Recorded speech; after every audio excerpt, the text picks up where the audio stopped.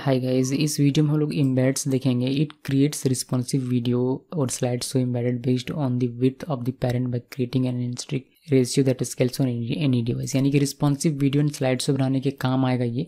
इसका ये rules are directly applied to iframe embed video and objects इसमें क्या क्या क्लासेस आपको मिलती है? यहाँ देखिएगा, जहाँ अच्छी तरीके समझ में आएगा। यहाँ आपको एक क्लास मिलती है इम्बेड रिस्पॉन्सिव इम्बेड रिस्पॉन्सिव यहाँ पे स्पेक्ट रेशियो लिखते हैं सिक्सटीन बाई नाइन लिख सकते हैं, उसी तरीके से ट्वेंटी वन बाई नाइन लिख सकते हैं सिक्सटीन बाई नाइन लिख सकते हैं फोर बाई थ्री लिख सकते हैं वन बाई वन लिख सकते हैं। जैसा आपका रेशियो लेना हो स्पेक्ट रेशियो वैसा आप ले सकते हैं। देन यहाँ, जैसे कि आई फ्रेम में आपको लगाना तो आप यहाँ एक क्लास इस तरीके से इस्तेमाल कर सकते हैं, जो कि रिकमेंडेड मतलब ज़रूरी नहीं है बट लगा सकते हैं आप। लेकिन ये दो चीज़ें आपको लगानी है पेरेंट में। पेरेंट में लगाने, याद रखिएगा पेरेंट में लगाने, इसका ये, इसका चाइल्ड है। इसको कॉपी करते हैं कॉपी करने के बाद ये एक वीडियो है, यहाँ आप देख पाएँगे आई फ्रेम में मैंने एक वीडियो लगाया हुआ है।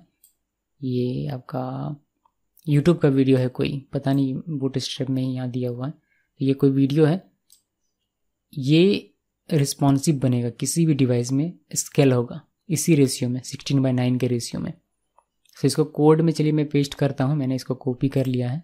पेस्ट किया मैंने पेस्ट करने के बाद सेव करके इसको अगर आप वेब ब्राउज़र में ओपन करते हैं कॉपी किया मैंने कॉपी करने के बाद इसको यहाँ पेस्ट करते हैं और रन करते हैं।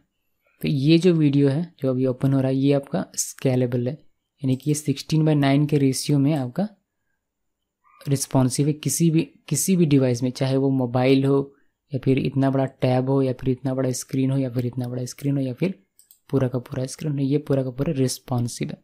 तो ये होता है आपका इम्बेड्स। ओके यहाँ आप जो रेशियो उसको चेंज भी कर सकते हैं। यहाँ ये सिक्सटीन बाई नाइन था, इसको आप चेंज कीजिए। फोर बाई थ्री में वन बाई वन में, जो इसमें मर्ज़ी, उसमें आप चेंज कर सकते हैं। Thanks for watching